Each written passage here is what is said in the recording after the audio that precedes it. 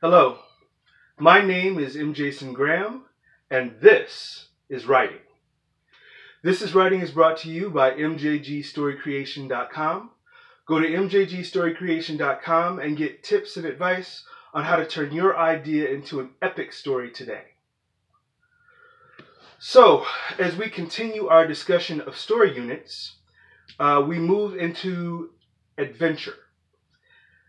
And I begin to realize that if I go through this story unit right now, you'll be looking at a very long program, and I don't really want to do that to you.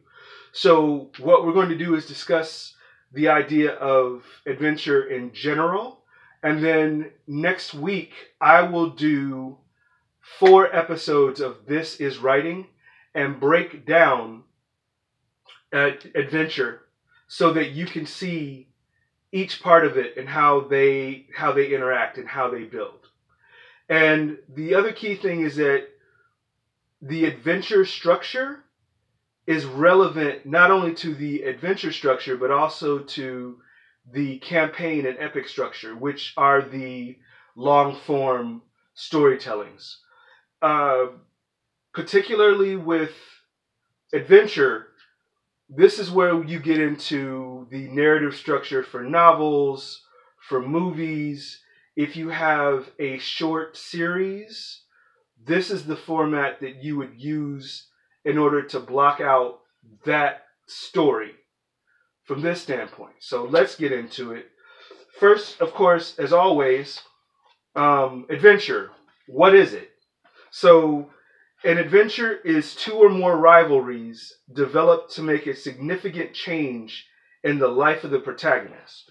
So, again, like I said, we're building on the previous story unit, which is rivalry. So this is a, greater thing, and and so those are the the ideas. Is that the idea is that whatever the ambition the protagonist is pursuing will make a significant change in their life. So if you want to think about it like like a bank heist, if a character decides that they need to get and generally they're pursuing some kind of resource. Is generally that's that's what's happening. So um, because it's difficult to know the total opposition to the protagonist um, there's dangerous risk involved.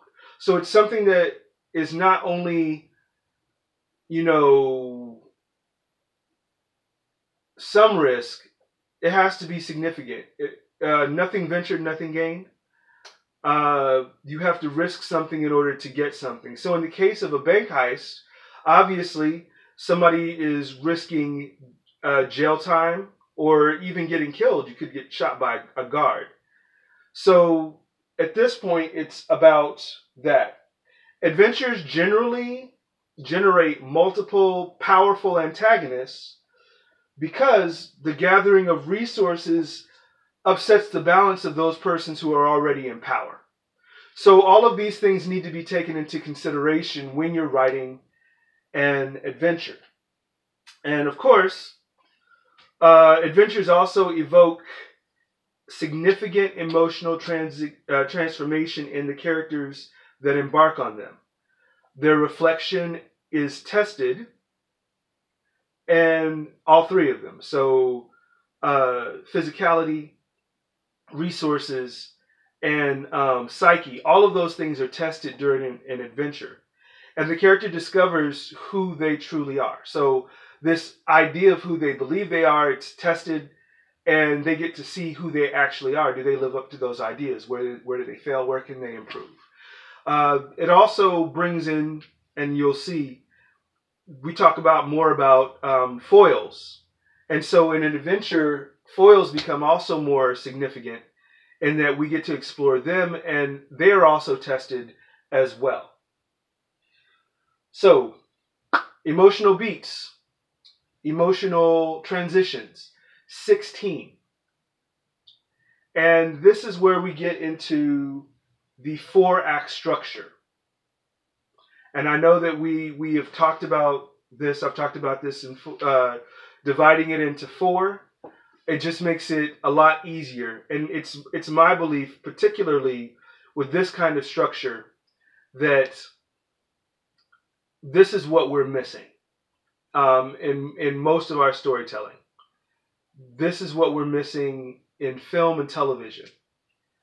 There is no reason for a movie to be longer than 90 minutes. I, I, mean, absolutely no reason for a movie to be longer than 90 minutes. And most movies, uh, properly done story wise, could be told in no more than an hour and 15 minutes. Honestly, 75 minutes is enough for one film.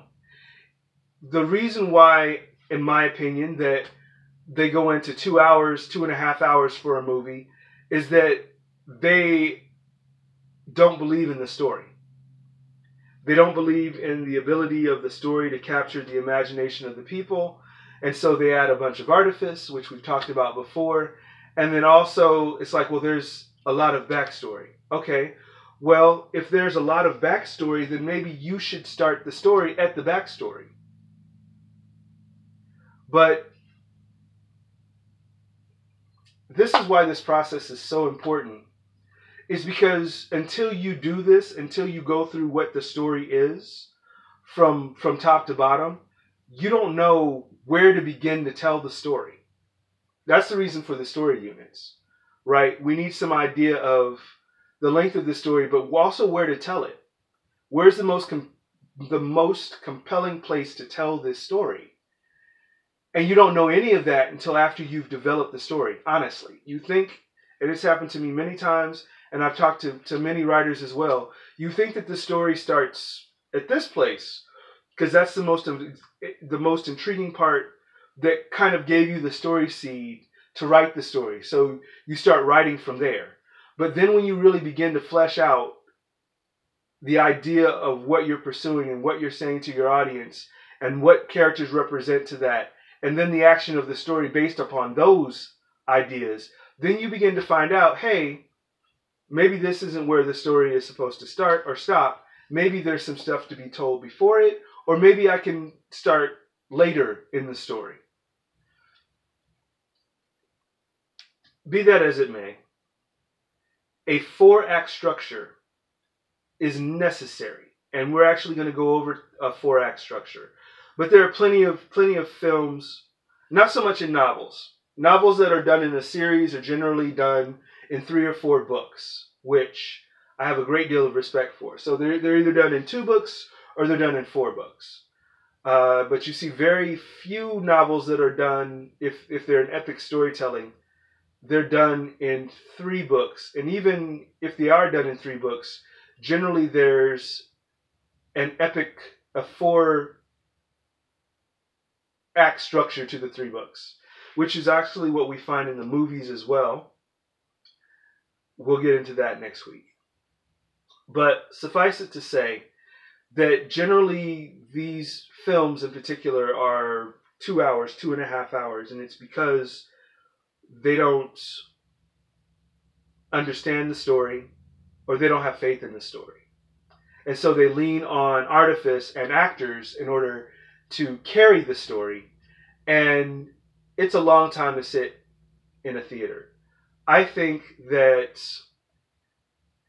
it's better to do two hour and 15 minute movies than it is to do a two hour movie.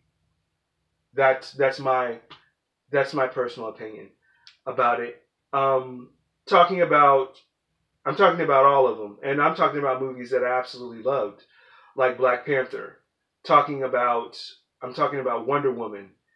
Like with those movies, how fantastic would it have been to spend an entire movie, for instance, with Black Panther and T'Chaka, and seeing the events and getting to know, seeing the attack, like taking a movie to go back in time and see that attack happen, and then see him come to the realization that it's his brother that is responsible for that attack and the capturing of Klaue.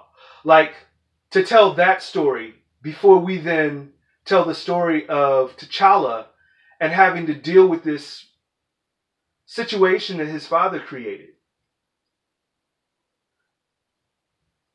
I, it's the same thing with me for Wonder Woman. How would it have been to have an opportunity to explore Themyscira and see the internal workings and why it was such a problem for her to leave? Not just because she is the weapon, but because she's in, because there's very few Amazons.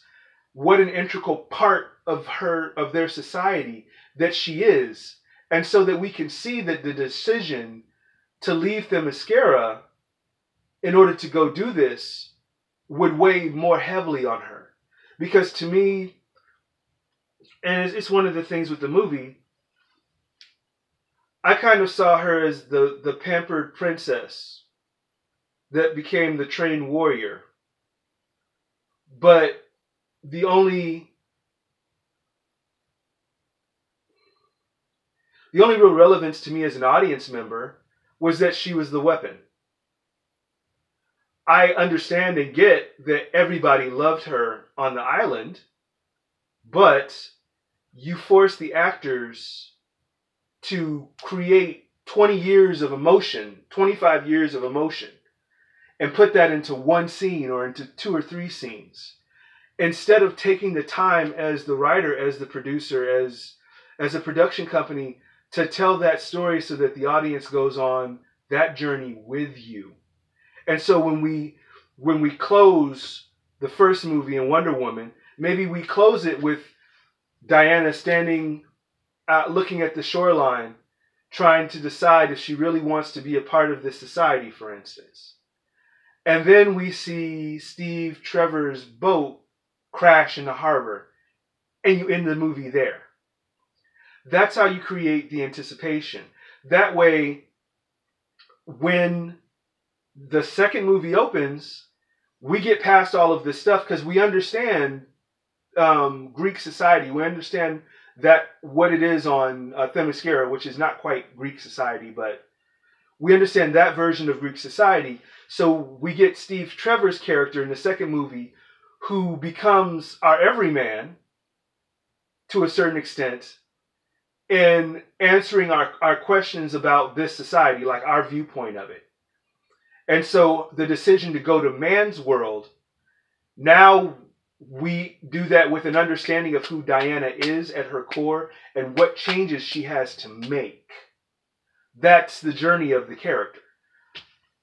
I'm taking too too much time. But this this is my argument. Wonder Woman could have been two fantastic movies Black Panther could have been two fantastic movies, um, without even interrupting the the uh, Infinity War arc.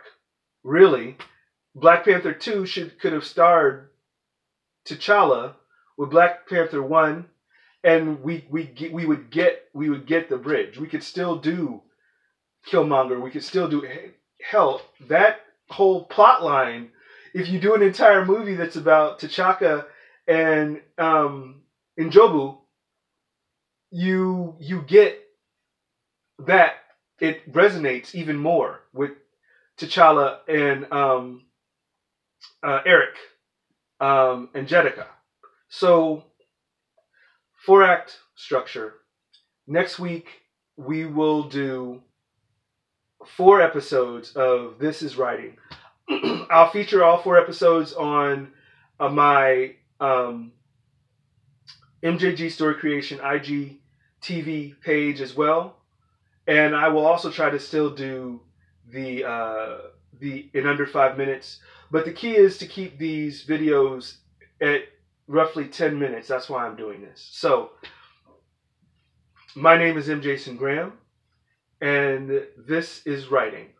This is writing has been brought to you by mjgstorycreation.com. Go to mjgstorycreation.com and get a free hour consultation. Turn your idea into an epic story today. I'll see you next time.